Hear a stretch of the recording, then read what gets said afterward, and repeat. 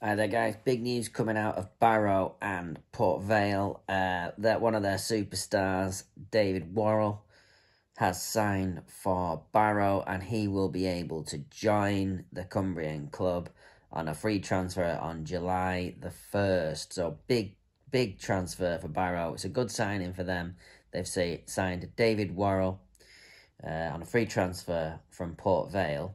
Uh, so David Worrall, just a little bit about him. He's played uh, loads, over 500 games in the Football League. He's played uh, approximately 150 games for Bury. Um, heard a little bit about them in the news recently. Uh, hopefully they'll be back soon. He's played a lot of games for Bury, but he's played the majority of his career at Port Vale, where he's played over 200, and, 200 games for them, over 200 games for, for Port Vale. So I think he'll be a really good addition for Barrow next year. He'll probably want to be aiming for playoffs, at least top half, with it being their third season in in the football league. So just to repeat, David Worrall has uh, left um, Port Vale and he has signed for Barrow. He'll join them on January the first, uh, on July the first, not January the first.